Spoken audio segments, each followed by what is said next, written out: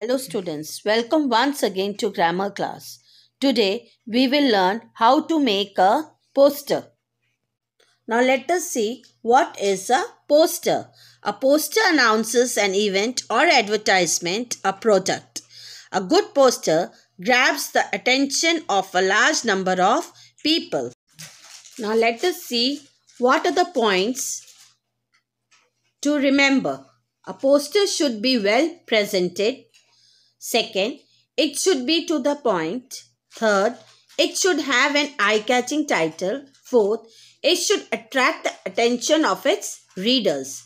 It should bring awareness among the readers. And fifth, it should bring awareness among the readers. Now let us see what can you include in a poster. A box or an outline that contains the entire poster with all the information. A heading which should be catchy and in a big font.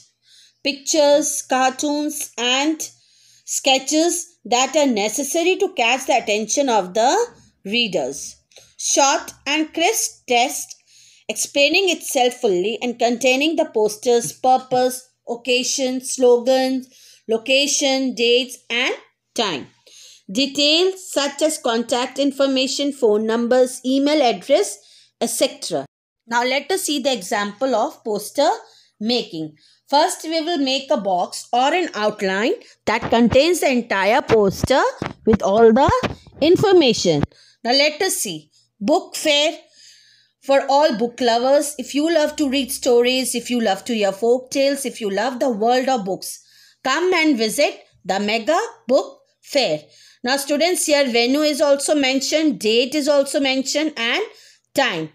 Come see, discover and buy from a wide range of books. And you can see the details such as contact information, phone number, all are mentioned in this poster making.